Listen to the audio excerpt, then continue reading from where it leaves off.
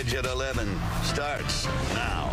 We had a nice warm up today, but now we have a chance for some storms tomorrow. Yeah, Captain Rich Luterman is watching the radar. Rich, uh, how strong are these storms you're talking about? Well, they could pack a punch late in the day on Tuesday into early Tuesday evening. I'll show you where this big storm is. Still snow on the backside through parts of Kansas and Nebraska. Certainly some snow in northern Minnesota. But notice the big storms right now down in Mississippi. All the rain streaming up into Chicago and Milwaukee. So we have a good chance to see rain develop in our area before sunrise. So plan plan on a wet commute tomorrow morning. I'll show you the wintry side of this storm, a bullseye of accumulating snow in northern Minnesota. But here's that severe weather outlook. Now, these are not expected to be severe storms, but certainly a stronger storm possible around Saginaw, Grand Rapids to Fort Wayne, including southeast Michigan. How about some live pictures right now? Chicago, it's all rain there. Uh, Michigan Avenue, that's for sure. Temperatures in the 50s. We had highs today in the middle 60s. We had a chilly chilly weekend, but today things did warm up nicely. 64 for us, 65 in Lansing, uh, 66 down there in Hillsdale. So the numbers at the airport, 64 and 33. It was chilly this morning. Here are your averages, 50 and 31. Certainly no rain today, but tomorrow we will likely see showers come and go. The rest of tonight, the clouds will thicken. The breeze continues. A lot of us are near 50 degrees, give or take a few, but that breeze continues out of the south and east. That will pick up again tomorrow. Notice the colder air building on the west side of this storm. 32 in Ironwood, 35 up there in Minneapolis, 60 degrees Fort Wayne, 61 to our south in Columbus. But certainly warm air east of the front, cold air on the backside, 22 in Denver right now. Watch what happens with Fox Futurecast. There goes low pressure shooting off to the north and east. I'm going to stop the animation around 5.30 tomorrow afternoon, and you can see that line of storms quickly racing across Metro Detroit, and some of those will have some gusty winds. Then it's cooler for Wednesday and Thursday. So tomorrow afternoon, tomorrow evening, we'll be keeping our eyes to the radar for sure. You can do it with the Fox 2 weather app. Down to 44 tonight. The showers come before we get to sunrise. Tomorrow, not an all-day soaker, but the rain comes and goes with thunder possible. And then notice, cooler days ahead for Wednesday, Thursday, a dry-looking Easter Sunday. And you can always get the latest forecast. Check it out, the Fox 2 Weather app. You can download it for free in the App Store or in Google Play. Roop. Rich, thank you. Well, tomorrow, the man accused of assaulting and raping two elderly women in a random attack in Dearborn will face a judge on new charges. This time, 52-year-old Michael Holcomb will be charged with the sexual assault of a 13-year-old girl in Allen Park. It happened at a home on Meyer Avenue. Holcomb allegedly attacked the teen on March 17th, just hours before the assault of the elderly sisters in Dearborn. Allen Park's police chief calls this one of the worst cases he's ever seen. Holcomb is set to be arraigned tomorrow. Tonight, an hours-long standoff in Royal Oak is finally over. You saw police move in live on Fox 2 just about an hour ago. Fox News' Dave Kinchen has more from the scene. It happened moments ago. SWAT team saying go, go, go, go, go, and they rushed into this home at Whitcomb and Campbell here in Royal Oak after a standoff that lasted about three hours. We're showing you video of them going in right now. This was a tense situation with police and uh, neighbors watching. Uh, neighbors watching from a distance as police kept everybody back for at least about three hours here. At one point, there was a man who we believe is the center of this standoff, a man who was on the porch with a couple family members uh, shouting at police for some time. We couldn't really make out what they were saying.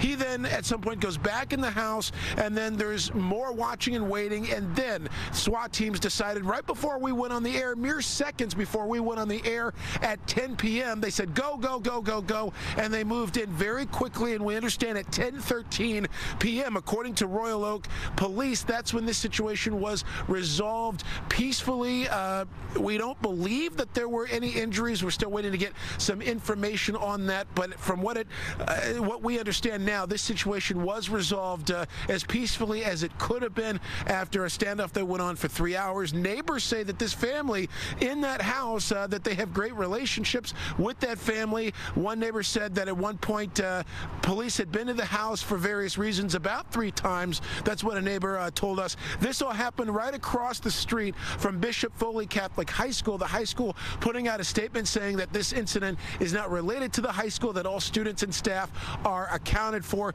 Again, the situation as of now, the situation resolved uh, peacefully according to Royal Oak Police. They say they will have more to say about this incident tomorrow. Dave Kinchen in Royal Oak on the edge. A murder suspect from Wyandotte has been caught, but not before lighting himself on fire. This happened in Akron, Ohio. Song Ho Jin was tracked down by police, wanted for his girlfriend's death over the weekend. She was found stabbed to death in an apartment on 10th Avenue in Wyandotte. After a brief chase, the suspect resisted arrest and set himself on fire before bailing out of the car. He's in critical critical condition with severe burns. An attempt to make homemade fireworks goes wrong, damaging a house and sending a downriver man to the hospital with serious injuries.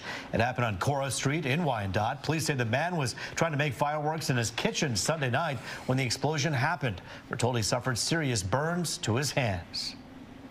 An Amazon delivery is normally a welcome sight. We get excited about it, except when you find that delivery driver inside your home. Yeah, Taryn, this was a very unexpected surprise for a local man who was getting dressed for work. Fox News' Jessica Dupnack joins us live with a story. Uh, Jess, what happened next?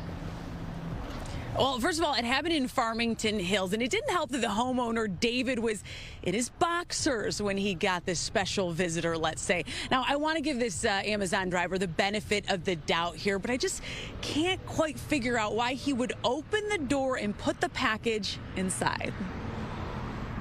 As I'm in my bedroom changing, I hear the front door open, and I think it's the cat getting out. Not the kitty. Instead, a full-grown man, ski mask, and Amazon vest. But as I come around the corner in my socks and my boxers, I see a man halfway into my house, ski mask on, taking pictures. David Boggs in boxers and socks on a Tuesday afternoon, changing for work. There's the package he was delivering right here on my doormat inside of my house. The Amazon driver took the welcome to our home way too literal. I make eye contact with him. He looks at me, and his words are, oh.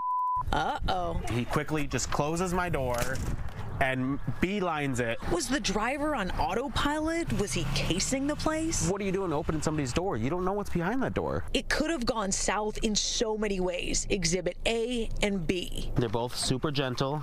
Yeah, but I mean, look at them. Worried about the things that could come if they had bit him. Now I'm the one in trouble, even though he's in my house. In fairness, though, the package of eclipse glasses for next month's solar eclipse was exactly what David Boggs ordered, but on the porch would have been just fine. He took his concerns to Amazon corporate. We can all imagine how that went. After an hour of talking to her, she offered me $70 with the recommendation to buy a home security system with it. With a link to purchase on Amazon. But of course. I mean, I thought it was safe to leave my main door open with my screen door closed. Apparently, that's not safe anymore. David, a little frustrated with Amazon, obviously. He did file a police report with Farmington Hills. Amazon tells him, though, they're really not going to do anything. That's because the driver didn't do anything violent and didn't steal anything. Reporting live, Jessica Dupnack on The Edge. Yeah, you do have to wonder a little bit about why someone would be wearing a ski mask and why they would exclaim that they were surprised or startled when somebody who owns the house walks up and says, what are you doing here? That's kind of strange. And also, you wonder, Jessica, uh, about the timing of the delivery. It wouldn't be hard for Amazon to figure out who that driver was based on delivery routes. Yeah, not at all. And Roop, you know, you've probably had this at home. The guy showed up in an unmarked vehicle, mm -hmm. too. Right. So that was a little alarming. Plus the ski mask, it was 40 degrees, not necessarily ski mask weather. All right, interesting stuff here. Jessica Dupnack for us live tonight. Thank you. Well, a financial milestone for the city of Detroit to tell you about. A decade after declaring bankruptcy, the city has achieved an investment grade credit rating. Moody's Investment Services citing a decade of solid financial performance for the historic increase. Over the last 10 years, the city has gained 24,000 jobs and property values have spiked 94%. The success has helped put Detroit back on the map.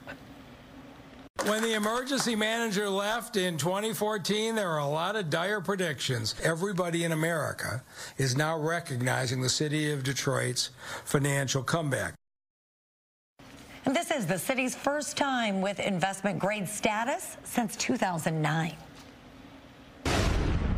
this court can tell you we are doing cutting edge manufacturing in the smallest of towns in the most northern part of the state of Michigan.